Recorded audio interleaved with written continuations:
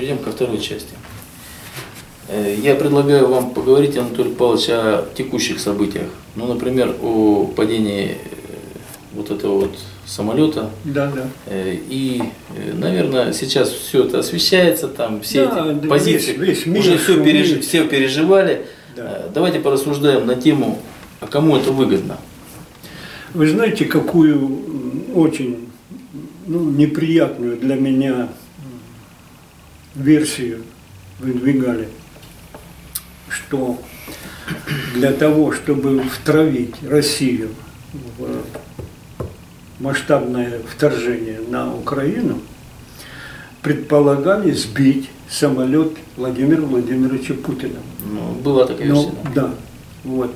Что он пролетал там на территории Да. Польши. Да, да, вот что такой самолет. Что в этот момент- Но я, я не верю, чтобы эти ребята, мирные граждане с буками, вот, чтобы они Вы обладали кого настолько- имеете в виду?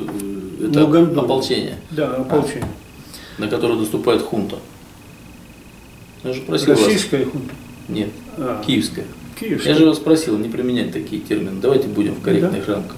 Ну, хунта это когда люди Давайте я не буду произносить власти слово хунта, а вы уже не будете сейчас произносить слово Лугандония. военного, Хорошо? так сказать, ну, Давайте. переворота. Или как Донецкие, ну давайте, называйте их повстанцы. Вас это устроит? Повстанцы, Давайте да так. ради бога. Да. Так же, как бандеровцы, это тоже повстанцы. Хорошо, давайте так. Мгм. Ну вот. Значит, вот- вы считаете, что повстанцы э, со своими буками, э, Набукали. да, набукали, да? Набукали. Ну вот я еще раз повторю, что мне очень неприятно, мне э, не- неприемлемо э, реализация такого замысла, чтобы сбить президента. Это ради того, Ну, то чтобы они же хотели сбить президента, да? Ну так говорят. Это, ну, поговаривают. Одна есть- баба сказала. То есть вот эти вот повстанцы, назовем их так, они, они установили свои буки и хотели сбить э, Путина да, за то, что он не подает им достаточной помощи. Да, так, да? да, вот такие, как говорится, разговоры А вы, ведутся. а вы в курсе, что за система бук вообще? Бук, буком Ну, один. ориентировочно знаю. Вот. Во всяком Ну, случае, когда в Крыму э, были, А точнее, в Крыму и в самом Донецке были заняты воинские части, где эти буки ну, имелись в достаточном количестве. Ну, их, э, их перегнали, использовали. их перегнали да, перегоняли, я уж я на, не, на я не присутствовал. ходу. Я не присутствовал. На, гусеничном на ходу. гусеничном ходу, на, на этот самый, на паром, и там куда угодно можно доставить. Вы в курсе, что эта система бук э, М1, Ну, я так примерно она вся представляю. на, на гусеничном Да, ходу. я И, примерно со- и себе состоит представляю. этот комплекс из нескольких э, установок. установок, да? Да, да. Вы в курсе, да? Ну, Там четыре установки. Немножко так. Командная, пусковая, заряжающая там, Да, да. и радиолокационная. Да, вот, вот, вот. Значит, и обслуживают эти, всю систему там порядка- Система там. Ну, это артиллерийский ар- Я, я бы сказал не повстанцы, а там много э, добровольцев из России Вот. прибыло, специалисты есть, так что... И они быстренько потом убежали на этих буках. А зачем бегать? А, они там остались. Они же на границах стоят, не пускают этих бандеровцев туда к себе. Буками, да? Что? Буками не пускают или что? Ну, то есть вы считаете, что служит Ну, ар- ар- арт-дивизион, который стоит и его охраняет вокруг вот эти повстанцы? Ну, может быть и так, я не присутствовал Ну, при этом. Вот. Даже, Ну, а- даже американская разведка сегодня говорит, что это абсурд. Нет, ну дело в том, что буками пользовались грузины. Вот им Ну, поставили им с Украины, с Украины, здесь им- Донецк, с? Украины им поставили. Я говорю, а как как э, строятся вот эти вот э, ну, военные действия. Есть э, снабжение армии, вот, значит, их снабдили буками. Потому что Ну, давайте- бандеровцы летали и их бомбили. на Вопрос, этих вопрос такой, кому это выгодно? Секундочку. Был вопрос. Вот. Значит, и они разжились этими буками, сбивали, вот, э, в частности, несколько дней, несколько дней тому проскочила э, информация, что сбили э, украинский какой-то воинский самолет, э, погибло несколько десятков человек, то есть люди уже как это, освоили технику. Ну и в сей раз тоже они вы мне скажите, вот это вот мнение, мнение о том, что буками сбили вот эти вот э, донецкие и луганские, это мнение, вот, которое присутствует тут именно среди украинской, Нет, э, российской. Российской чего? Есть российская пресса, российские журналисты, а. журналюги. Ну, это вот, либеральная они... пресса, скажем а? так. Ее называют у нас либеральная пресса. Ну, да. Это вот. Значит, вот, вот такой, э, как говорится, расклад. Евгений Причем, Арбац. Они, да, да, да, они да, считают вот такие. Есть они такие эти вредители.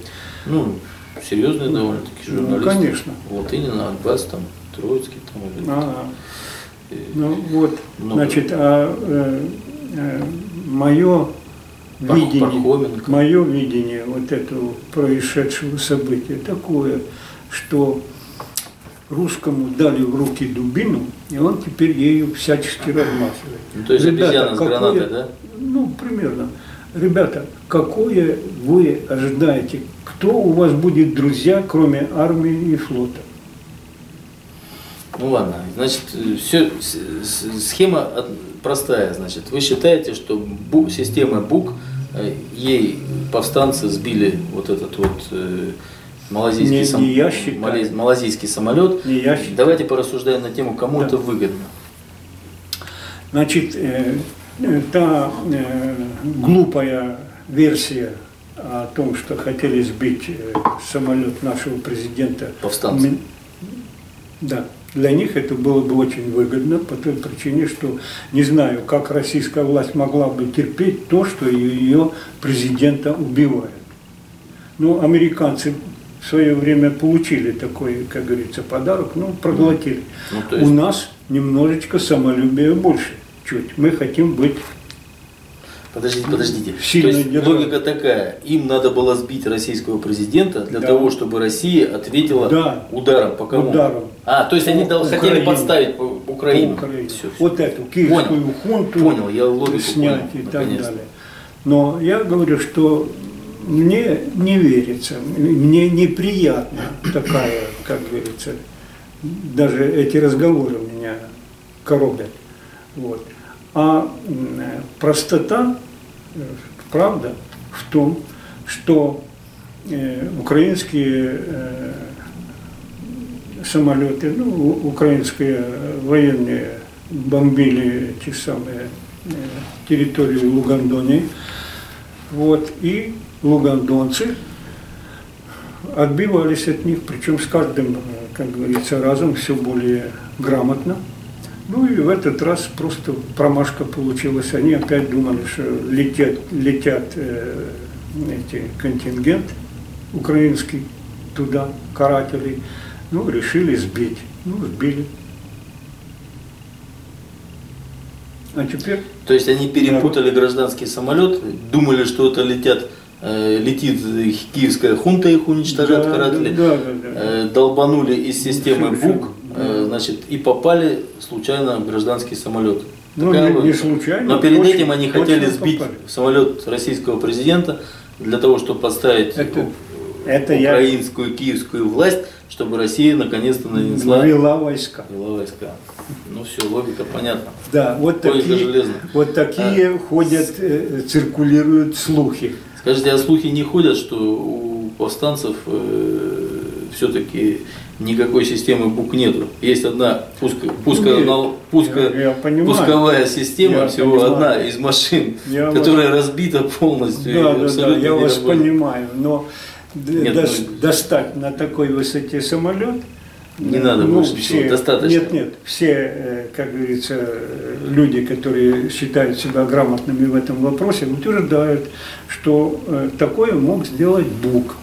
А, да. Хотя есть еще вот другие версии, что э, какой-то испанский диспетчер. диспетчер, который работал в Киевском ну, аэропорту или там в авиационном ведомстве, он Э, сообщил, что рядом с этим гражданским самолетом летело два истребителя, да, два истребителя. Ну, сейчас уже забыли все об этом диспетчере, потому что есть э, данные независимые объективные, объективные разведки космической, mm. которые уже подтверждают это. И даже американцы с этим не спорят. Вы спорите? Да, что э, этот... Давайте забудем про нет, этого нет, диспетчера. Э, диспетчер правду его, наверное, говорил? его, наверное, выгнали потом. Нет, ну он правду ну, говорил, что ну, все, все диспетчера под, под, под это под началом Коломойского, он, наверное, его выгнал. А, нет, дело в том, э, официальные лица украинской э, авиации, ну, аэрослужбы, сообщили, что по законам Украины на службу в диспетчерских э, учреждениях иностранцы не, не допускаются, только граждане ну, То есть такого диспетчера ну, не существовало? Да, ну, похоже, что... Это да, так же, как ве версия с... Э, То есть после вот того, как он это сказал, через несколько дней это подтвердили данные космические, космической разведки, э, то диспетчер уже как бы его актуальность отпала. Да, то есть украинские самолеты сбили вот этот вот э, Боинг, да? да. Есть такая ну, версия. Есть версия, конечно. Я поэтому рассказ... и говорю вам, давайте вот эти версии как-то отпустим и порассуждаем, кому это выгодно все-таки. Ну, вот Еще раз вас вы, возвращаю. Вы сформулировали четко ту мысль, которую я пытался провести, что для э, повстанцев в Лугандонии очень было бы э, неплохо втянуть Россию в масштабную войну. Но они перепутали гражданский, перепутали ну, гражданский самолет с военным. Да, и, ну, все, договорились. Не, я, сло, не сложилось. Э, я тогда позвольте выскажу другую да, точку зрения. Значит, другая точка зрения, и моя в том числе, что киевским карателям было выгодно, э, я говорю да, и хутта, потому да. что ну, вы мне ну, практически разрешили Бога. это делать. Да, ради Бога. Ладно, значит, им было выгодно это в определенном отношении очень сильно. Потому что сейчас Киев добивается ввода западных миротворческих войск. Да. Ему было выгодно... Я от вас первого слышу это. Да вы что? Да. Ну, вы позвоните в Киев, узнаете. Ну, хорошо. А как им еще, при... а как им еще прекращать эту военную э, катавасию, скажем так? Ну, им больше выбора нету. Да, вот как Понимаете? в Чечне. Значит, Надо прекращать. Нет, как в Сербии. Как, ну, в Сербии. как в Сербии. Запад вводит свои так называемые миротворческие, силы, и в интересах вот этой киевской фашистской хунты он останавливает этот э, процесс, не допускает Россию, потому что Россия при этом не получит мандат на введение так как она агрессор. Ну, да. Поэтому сразу же объявили Россию виновной во всех этих грехах сбития самолета. Mm. Вот эта логика такая. Да. Значит, То есть, вторая логика еще было, надо было нанести этот удар для того, чтобы переформировать опять же свои силы, потому что они очень сильно завязли после того, как Стрелков вывез, вывел свои войска из из-под Луганска, из-под Славянска, угу. значит, и вот эти каратели очень сильно подзавязли да. именно на границе с Россией. Они пытались отсечь Луганско-Донецкую республику от России, а зачем тут... это нужно было? А Стрелков направил удар и взял в кольцо около 6 тысяч карателей. Угу. И их уничтожал. Угу. Ну, им надо было тоже, вот, вот, это тоже сильно подействовало, потому что после Конечно. того, как Донецк объявил в одностороннем порядке прекращение боевых действий, хунта прорвала все-таки, кое-что могла для этих ребят сделать, но не все, там их до сих пор уничтожают. Угу. Но зато она реорганизовала и начала новое наступление, уже с другой стороны. Да, да, да. То есть это позволило, то есть все э, вопросы, которые стояли, остановить, прекратить боевые действия, Донецкая республика остановила и прекратила. Хунда продолжила Это, все свои удары. у вас эти сведения? Я вам говорю просто ну, ну. версии. А, ну, Вы, ну, я же вас не спрашиваю, откуда у вас ваши сведения, понимаете? Мне, да, ну зачем мы будем вот это вот сейчас? Это целая система аналитик, аналитиков, это целая, это целая система той информации, которая идет оттуда, это съемки независимые, mm. это не телевидение, я вас умоляю. Не, ради бога. Да. Ну, как бы там много всяких э, причин, до которой могла пойти вот это вот. Мы сегодня видим, что э, киевские власти отсекли на целую неделю проникновение туда э, всех наблюдателей и независимых экспертов, что несколько дней не могли попасть А те, которые попали, потом э, официально сказали спасибо вот этому повстанцам, вот, повстанцам да, угу. за то, что они обесп... как-то хоть обеспечили, разрешили. разрешили и охраняли их. И от, э, в это время киевская хунта наносила свои удары, даже фосфорными бомбами. Попали, да. малазийцы попали под фосфорный обстрел. Да, да. Ну, это как бы вот такие вот э, вещи, я их э, бегло так сказал. Угу. Моя мысль понятна? Да, очень понятно. Основная, власть, основная цель была это подставить Россию под международное осуждение. А и это очень большой вопрос. Так и поставили. Ее так и поставили сразу же. А сейчас это осуждение снимается, потому что никаких доказательств, даже уже на американском телевидении сказали представители разведки американской, у нас против России нет доказательств. Вы не нет. слышали этого? Я Э, э, об этом я читал, вернее не читал, а в общем-то ну, это известно. Да. Вот. Но дело-то вот какое, что э, Россию обвинить в том, что она своими силами сбила этот самый Боинг, я, например, не, не поверю, даже если об этом будет утверждать какие-то там специалисты. Ну, утверждать, Нет. что это сбили повстанцы, это вообще смешно. Это они, не техни, они технически это не, могут смешно. этого сделать.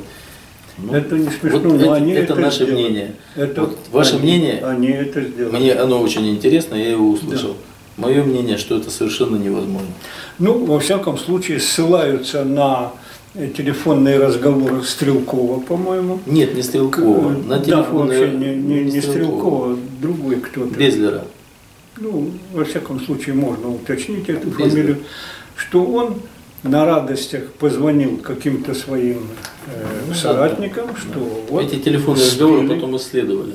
Сбили вот этих э, хунту эту сбили, проучили ее как следует. Потом оказалось, что эти вот телефонные разговоры вывалились сразу же в первый же день. Их вывалили вот эти вот киевские власти, пытаясь, э, значит, э, кинуть обвинения вот этим донецким ребятам. Да. Сразу же. Потом это, эти раз, телефонные разговоры тут же исследовали. Угу определили их полную фальсификацию, и о них даже сегодня никто ничего не, не спрашивает. Да, конечно. Что там какие-то казаки с какой-то там заставы мочканули да, какой-то самолет. Ага, да, да, да, казаки мочканули. Не, не казаки. Да казаки там было в этих телефонных Нет, разговорах. С казаками беседовали, а казаки буками. Да так и было, я же слушал эти телефоны. Ну Бука, что Анатолий не, не владели. Ну конечно, естественно. А они в эти телефонные разговоры включили такое. Там казак, как, вот эти вот казаки там на такой-то там это самое по опорном посту там что-то там сбили. Да, там да. было, прозвучало это. Да, да. Это очень смешно. Конечно, конечно. Если бы не было Поэтому, этого грустного события. Да, э, да, не смешное событие совершенно. Э, я о чем говорю? Наверное, это все-таки тот телефонный разговор уже никто не, не вспоминает, может, не, не будем вспоминать, может, вы еще какие-то данные предложите? Ну, к сожалению, мне э, украинские источники могут повторить то, что я здесь прочел в российской прессе, и не более того если я буду выяснять, да, ну, что это сделали специалисты, специалисты, которые имели возможность, добровольцы, их называют наемники, добровольцы пришли сюда, буки у них были, с буками не разобрались, ну, долго ли. Четыре, четыре установки на гусечном ходу да. пересекли границу. Не пересекли не границу, а дело в том, а что, потянули заранее, что да? буки были расположены в Донецкой области, они были, они были в Донецкой заняты, области они были заняты они были повстанцами. Распо... Нет, они были а... расположены на территории, занятой Укра... украинской армией. Это вот вы, эти вот три установки вы мне говорите. Да, это а, сегодня дело, все знают. Да, а дело в том, что еще из Крыма эти буки были. И потом они спокойненько все. укатились туда. Когда ну, дали команду, ну, они ушли. Ушли, ушли. На территорию Украины. Но не могли же на территорию Украины уйти буки, которые принадлежат повстанцам, Анатолий Павлович. Так они ну, ушли-то они никуда, на территорию Украины. Никуда они не уходили, они ушли, там остались. Нет, их перегнали.